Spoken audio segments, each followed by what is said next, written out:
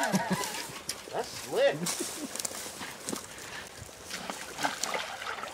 That almost made the blooper reel. still mine. It's still mine.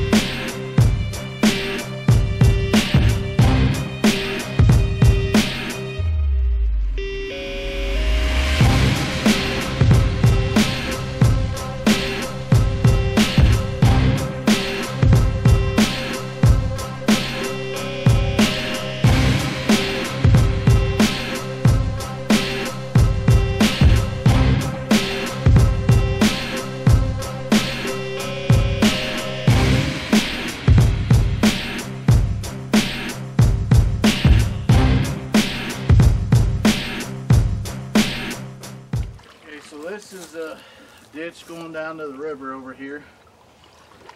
And the water has got this bank undercut a little bit. So any muskrats, otter, beaver, you name it, hugging this bank right here. Swimming right up the current. So put a little blocking there to make sure they go through the trap. And as you can see, it works pretty good. Noah.